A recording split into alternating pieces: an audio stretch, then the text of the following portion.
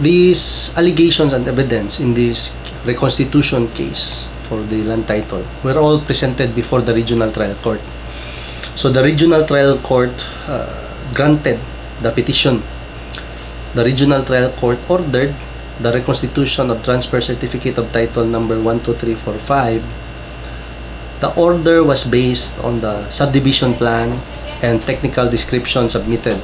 The regional trial court said after considering the evidence presented they said that the after considering the evidence presented the court finds that this is a proper case for judicial reconstitution of the original and owner's duplicate copy of transfer certificate of title number 12345 of the register of deeds of the city of let's just call it Neverland.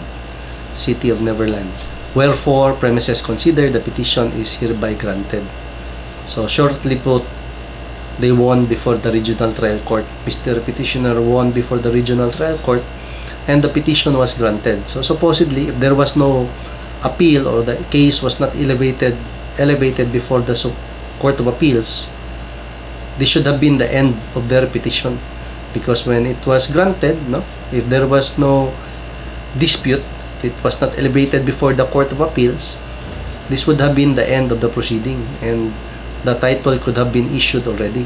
Why? Let's see what's the other parts of the decision or order of the court, the regional trial court. Okay. It's quite lengthy. I'll do that in the next video. I'll see you in the next video. Okay.